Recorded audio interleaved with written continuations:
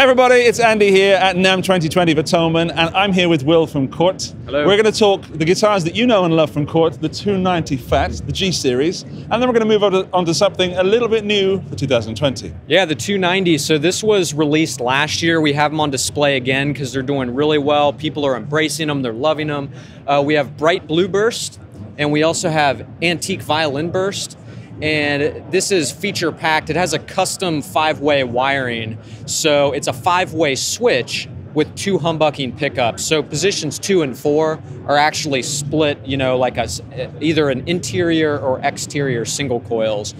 Bird's eye maple neck and fretboard gives you some little figurine and little pops of texture and excitement there. And then we have the uh, Cort logo on the headstock and on the back, some locking tuners. Um, so that brings us to a new G, G series model, which is the G250 FR. And uh, this is very reminiscent of the 80s, you know, the super strat era.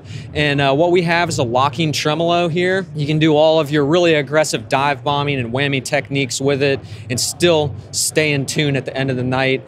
Uh, we have an HHH pickup configuration, which uh, these are the, the rail pickups that are in a uh, single coil slot. And uh, yeah, beautiful guitar. It's in a black pickguard with that white finish.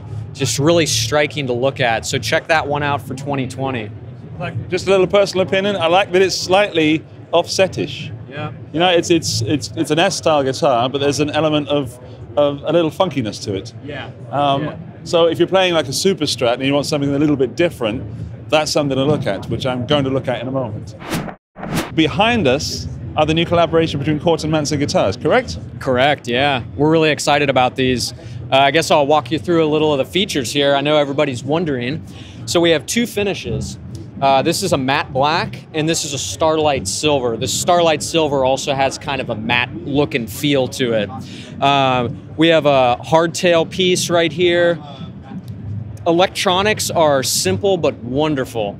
Uh, volume, tone, three-way pickup selector, and uh, these are Manson design humbuckers, which is where the magic happens is in the sound.